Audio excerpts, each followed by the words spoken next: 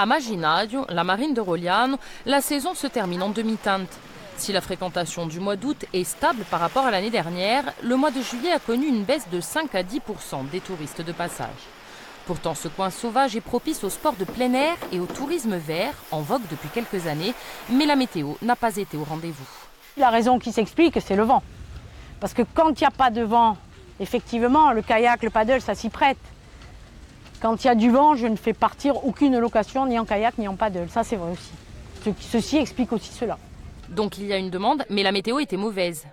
Ah oui, vendredi, euh, vendredi on avait des groupes, on avait 10-15 personnes en kayak, on a tout annulé. Du côté du port de Plaisance, les chiffres sont meilleurs.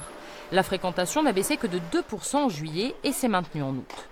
Ce touriste italien fait escale à Maginadio à chaque début et fin de vacances depuis des années, mais qu'y trouve-t-il de plus qu'ailleurs?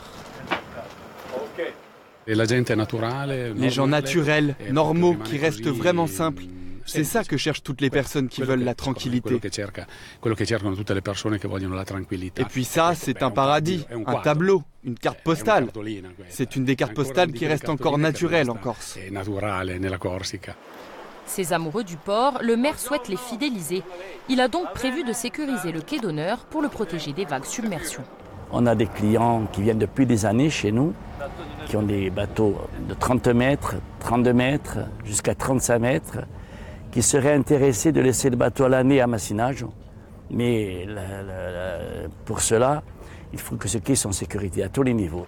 Des travaux pour rehausser le muret et renforcer l'enrochement du quai devraient être réalisés cet hiver afin que les bateaux comme celui-ci n'aient plus à partir.